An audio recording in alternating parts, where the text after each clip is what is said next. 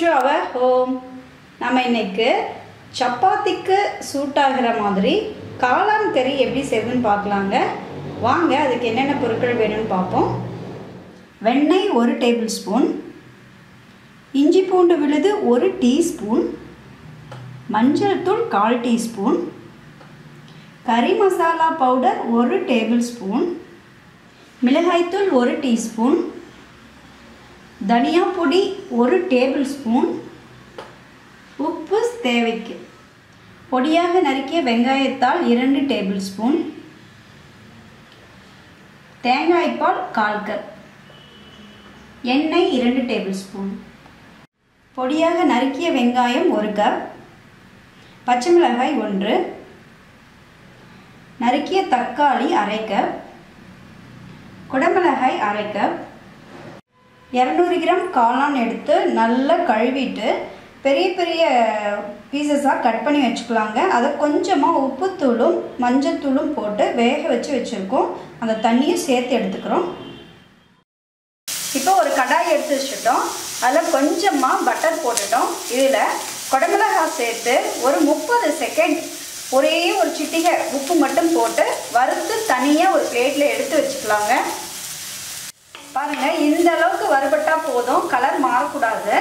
இப்போ இதை பிளேட்டில் மாற்றிப்போம் அடுத்து இதே கடாயில் மீதி வெண்ணெயை போட்டுப்போம் அதில் வேக வச்சுப்பா வேக வச்சுருக்கோம் பாருங்கள் இந்த காளானை சேர்த்துக்கலாம். காளான்லேயே உப்பு போட்டிருக்கனால டிஷ்ஷில் உப்பு கம்மியாக போட்டுக்கலாங்க. இது நல்லா ஒரு ரெண்டு நிமிஷம் ஃப்ரை பண்ணலாம். இந்த தண்ணியெல்லாம் வற்றிட்டு கொஞ்சம் முருகலாகட்டும். இப்போ பாருங்கள் எவ்வளோ அழகாக முருகல் ஆயாச்சு. ஏற்கனவே வேக வச்சுட்டதுனால ஈஸியாக முருகல் ஆகிடும் இப்போ இது ஒரு பிளேட்டில் மாற்றி எடுத்து வச்சுப்போம். இப்போ அதே கடாயில் எண்ணெயை விட்டுக்கலாம். ஃபஸ்ட்டு இஞ்சி பூண்டு பேஸ்ட் போட்டுக்கலாங்க. இஞ்சி பூண்டு பேஸ்ட் போட்ட உடனே இது நல்லா கிளறி விட்டுக்கோங்க. அடி பிடிக்காது அப்போ தான் அடுத்து பெரிய வெங்காயம் சேர்த்துப்போம். இந்த டிஷ்ஷுக்கு தேவையான அளவுக்கு உப்பு சேர்த்துக்கலாம். இது ஒரு நிமிஷம் நல்லா வதங்கட்டுங்க. பாருங்கள் ஆனியன் இந்த மாதிரி முருகல் ஆன பின்னாடி இதில் கறி மசாலா பவுடர் போட்டுக்கலாம்.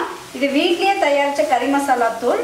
உங்ககிட்ட வந்து இல்லை அப்படின்னா நீங்கள் வந்து வீடியோ பார்த்துக்கலாம். நம்மளோட வீடியோ இருக்குது அதுக்கடுத்து மஞ்சள் தூள் மிளகாய்த்தூள் மல்லித்தூள் போட்டு சும்மா ஒரு செகண்ட் இந்த மாதிரி ஃப்ரை பண்ணலாங்க. அதுக்கடுத்து பொடியாக நறுக்கின தக்காளி சேர்த்துக்கலாம். லைட்டாக அடிப்பிடிச்சதுன்னா வேக வச்சிருக்க இந்த காளான் தண்ணி சேர்த்து நல்லா வதக்கிக்கலாங்க. இது ஒரு மூணு நிமிஷம் நல்லா வதங்கட்டும். பாருங்கள் மசாலா வந்து இப்போ நல்லா இந்த கடாயில் ஒட்டிகிட்டே இருந்தது அப்படின்னா மீதி இருக்க இந்த தண்ணியும் சேர்த்துட்டு நல்லா ஃப்ரை பண்ணுங்க. கொஞ்சம் கூட பச்சை வாசனையே இருக்கக்கூடாது. பாருங்க நல்லா ஆயில் மேலே பிரிஞ்சு வந்தாச்சு. இந்த ஸ்டேஜில் தான் காளான போடணும். அதுக்கடுத்து இந்த ஃப்ரை பண்ணி வச்சுருக்க குடமிளகையும் சேர்த்துக்கலாம். இது கூடவே நறுக்கின பச்சை மிளகாய் ஒன்று இதையும் சேர்த்துக்கோங்க.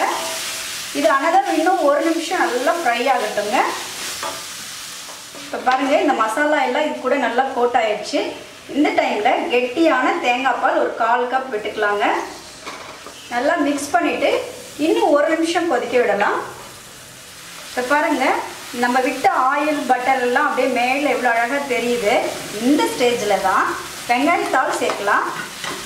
ஜஸ்ட் அப்படி ஒரு மிக்ஸ் பண்ணிவிட்டு சர்வ் பண்ணிக்கலாங்க அவ்வளோதான் குடமிழகாய் நல்லா பச்சையாகவே இருக்கிற மாதிரி பார்த்துப்போம். இப்போ ரெடி பாருங்கள் நம்மளோட டேஸ்டியான காளான் கறி ரெடி பண்ணிட்டோம். இதை நீங்கள் சப்பாத்தி ரோட்டி ஜீரா ரைஸ் இது கூடலாம் சேர்த்து சாப்பிடுங்க. ரொம்ப சுவையாக இருக்கும். செய்கிறதுக்கு ரொம்ப சுலபம் இது. நீங்களும் ட்ரை பண்ணி பாருங்கள் நன்றி. ஃப்ரெண்ட்ஸ் உங்களுக்கு இந்த வீடியோ பிடிச்சிருந்தா சோனா சமையலுக்கு சப்ஸ்கிரைப் பண்ணுங்கள் ஷேர் பண்ணுங்கள் உங்களோட வேல்யூபிள் கமெண்ட்ஸை பதிவு பண்ணுங்கள் தேங்க்யூ